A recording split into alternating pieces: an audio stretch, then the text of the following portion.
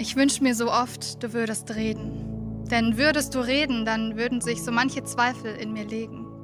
Aber wieder bleibt es einfach nur still.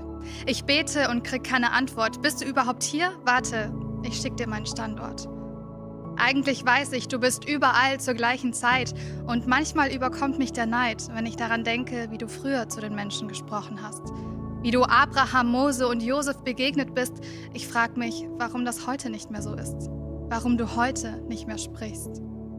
Und ich weiß, du sprichst durch dein Wort und dass wir freien Zugang dazu haben, ist ein Privileg. Und ich will mich nicht beklagen, denn ich habe dich ja schon oft erlebt. Und dafür bin ich dankbar. Ja, ich weiß, dass du da bist, doch ich habe so viele Fragen, die sich nicht mit der Bibel beantworten lassen. Fragen, die sich konkret mit meinem eigenen Leben befassen. Dabei will ich dir doch folgen und tun, was du sagst. Ich wünsche mir Führung. Aber wie soll ich losgehen, wenn ich die Richtung nicht kenne? Sag, ist es dir egal, wohin ich renne?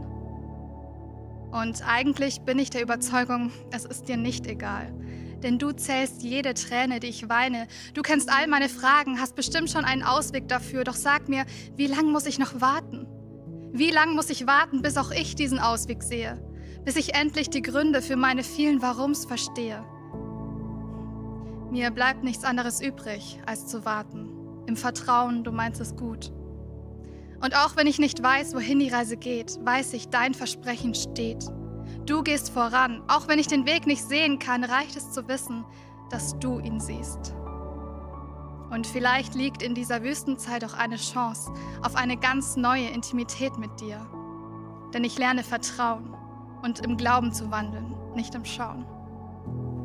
Also bleibe ich treu und warte, denn ich weiß, du wirst mir den Weg weisen. Auch wenn ich vieles nicht verstehe, will ich dich trotzdem preisen.